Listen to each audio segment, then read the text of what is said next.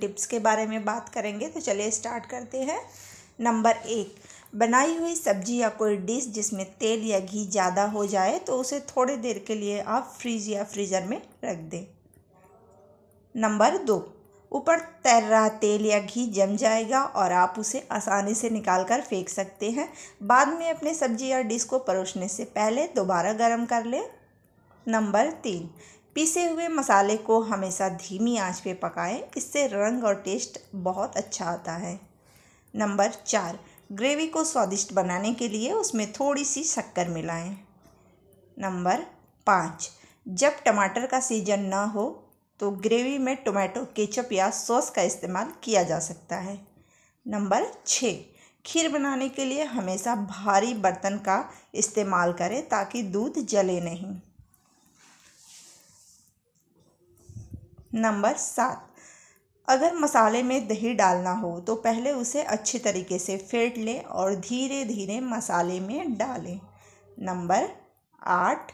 काट, सब्ज़ियाँ काटने के लिए हमेशा लकड़ी के चॉपिंग बोर्ड का इस्तेमाल करें। मार्बल स्लैब पर सब्ज़ी काटने से चाकू की जो धार होती है, वो कम हो जाती है। नंबर नौ। सब्जियों का जितना हो सके उतना कम छिलका निकालने की कोशिश करें। नंबर दस। घर में तैयार अदरक, लहसुन और हरी मिर्च के पेस्ट को ज़्यादा समय रखने के लिए उसमें एक टीस्पून गरम तेल और नमक मिलाएँ। नंबर ग्यारह। खाना बार बार गरम ना करें, इससे उसमें मौजूद पोषक तत्व नष्ट हो जाते हैं। नंबर बारह। ग्रेवी के लिए हमेशा पके हुए लाल टमाटर का ही इस्तेमाल करें, इससे रंग अच्छा आता है। नंबर तेरह।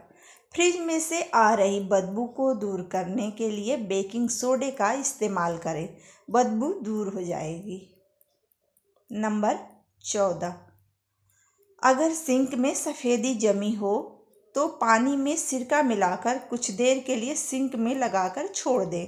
लगभग बीस मिनट के बाद सिंक को अखबार से साफ़ कर ले। सिंक चमक उठेगा। नंबर पंद्रह। पानी में नींबू और गुलाब जल की कुछ बूंदें मिलाकर किचन स्लैब साफ़ करें। इससे स्लैब की सफ़ाई हो जाएगी और रसोई खुशबू से महक उठेगी। नंबर सोलह। चाकू को इस्तेमाल करने के बाद हर बार धोकर ही रखिए, ताकि फल आदि काटने के लिए चाकू में कोई गंध ना रहे और साफ़ भी रहे। नंबर सत्रह।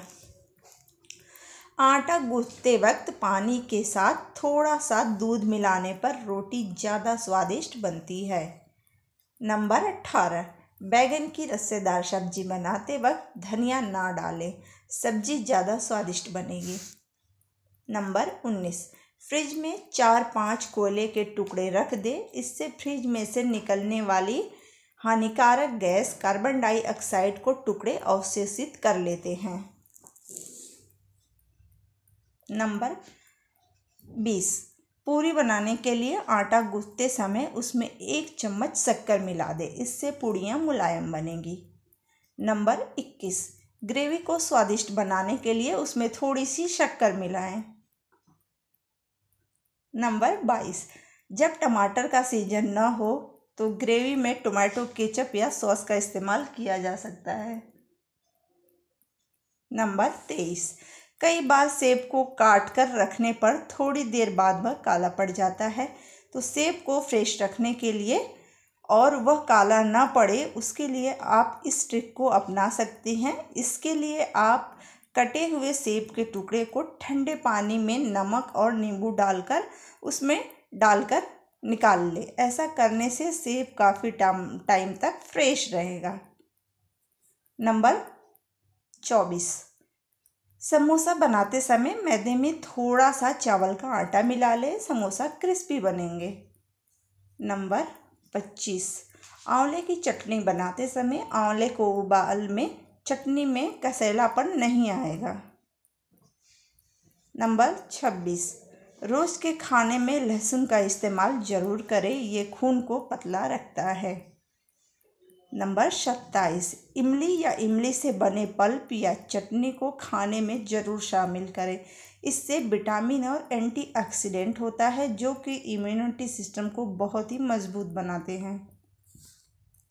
नंबर ट्वेंटी एट, लहसुन खाने में शामिल करें, इससे एसिडिटी नहीं होती है। तो फ्रेंड्स, अगर आपको वीडियो अच्छी लगी हो, वीडियो बहुत ही ज़्यादा यूज़फुल लगी हो तो वीडियो को लाइक ज़रूर कीजिएगा और इसे अपने फैमिली और फ्रेंड में शेयर कीजिएगा। अगर आप चैनल पे पहली बार आए हैं तो चैनल को ज़रूर सब्सक्राइब कीजिएगा और बेल आइकन भी प्रेस कीजिएगा ताकि मेरे नेक्स्ट आने वाले वीडियो की नोटिफिकेशन आपको ज़रूर मिले। Thanks for watching.